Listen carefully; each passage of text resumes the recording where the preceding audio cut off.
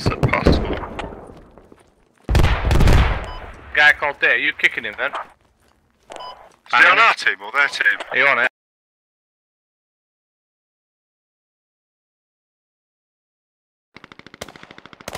Oh, we can't have people with bad names on, really, can we?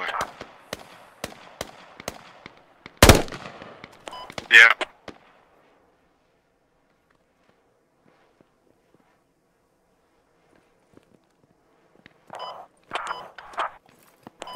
Bootsman.